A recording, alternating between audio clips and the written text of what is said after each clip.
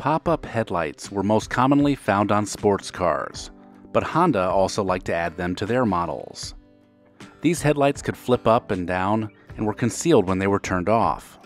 These type of lights date back to the 1930s, but vehicle light regulations changed over time. And by the 1990s, the pop-up headlight was facing extinction due to safety issues. Because of this, manufacturers phased out this light configuration, which would disappear altogether in 2004. The appeal of automatic seatbelts is unknown, but a lot of compact cars made in the 1980s had this feature. If you remember getting into an older Honda Civic or Honda Accord, you probably remember the seatbelts sliding back across your shoulder. The concept was that the driver and passenger would not need to remember to put on their seatbelt because the car took care of that for you. Although intentions were good, these seatbelts required you to manually buckle the lap belt, which many people failed to do.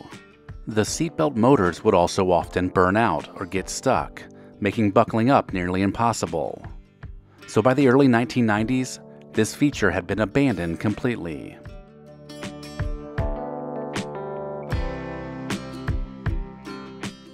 Car buyers used to complain about their antennas getting either stolen or damaged at the car wash, so automakers decided to solve this problem by introducing power antennas. These were used on cars well into the early 2000s, and there were a lot of benefits to a power antenna. But the drawback was that the antenna became more complicated to replace or repair and could cost hundreds of dollars. Fortunately, over time, automakers figured out how to incorporate the antenna into the design of the car, and the power antenna became a thing of the past. Vent windows allowed passengers in a car to push out a little piece of triangular glass to let in some fresh air. This was an essential design feature considering most cars in the first half of the 20th century didn't have air conditioning. Even during the 1950s, air conditioning was reserved for the most luxurious cars. Vent windows showed up less and less as AC became cheaper and eventually standard in vehicles. Some of the very last vehicles to have this feature were the Ford F-150s and Dodge Rams from 1996.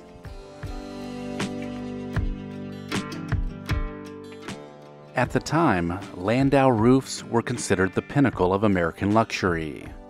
These sometimes vinyl roofs were meant to look like a convertible, and they were named after a horse drawn carriage that came from Landau, Germany. The only problem was that these roofs would deteriorate and eventually fall apart. Replacing the vinyl could be an expensive proposition and not something that many people wanted to deal with. This style of roof fell out of style by the 1990s, although occasionally you still might find a Landau roof on a new Cadillac. Heavily influenced by the movie Smokey and the Bandit, and the fact that cell phones were non existent, some cars in the 1980s had the option to come with a CB radio. The CB radio made two way communication between cars really convenient, but the fad seemed to die off pretty quickly as cell phones became universally accepted. CBs are still around though, and many enthusiasts, truckers, and emergency responders continue to use the device, and it seems that some reliable technologies, like CB radios, never quite go out of style. While General Motors was responsible for creating the removable T-top roof design, many other automakers adopted it. T-tops were an iconic part of the 1970s and 1980s. The issue was that there were a lot of safety problems that T-tops had. The first and foremost was the structural safety of the car, which was compromised by T-tops. Then you had the leaking roofs, and even damage to the T-tops caused by improper storage of the glass panels. In the end, automakers dropped this concept altogether, although GM offered them as an option on some models up until 2002.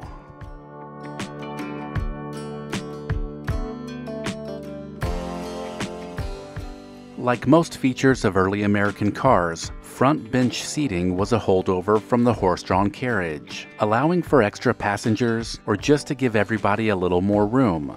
The bench seat was a popular feature of the big American sedan. Safety regulations in the 1970s led to the bench seat declining in popularity, but they remained in many trucks. The introduction of the center console meant that many new cars simply didn't have the space. But if you were a kid in the 1970s and 80s, there is no doubt you rode around on that front bench seat. The Crown Victoria was one of the last modern sedans to offer bench seating. Other than that, bench seats in sedans were abandoned altogether.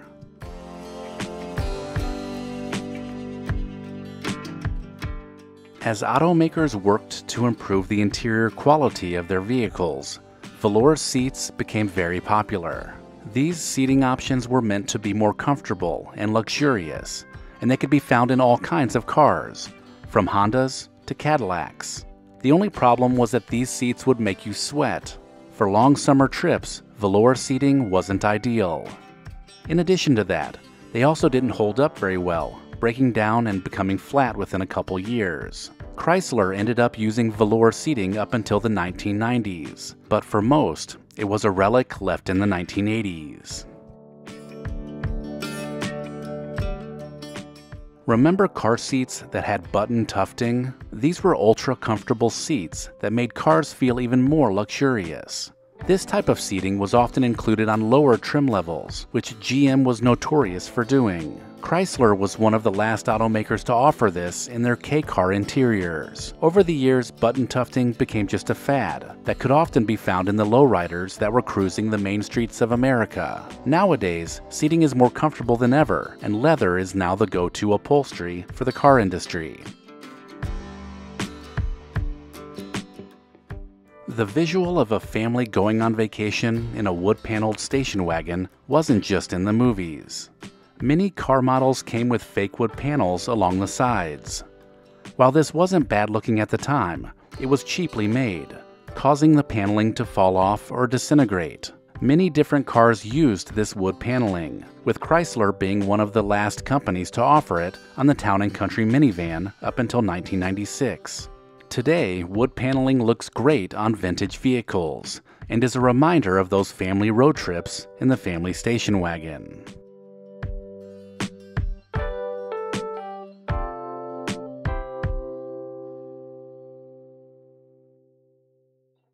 If you enjoyed this video, click on this playlist to watch even more.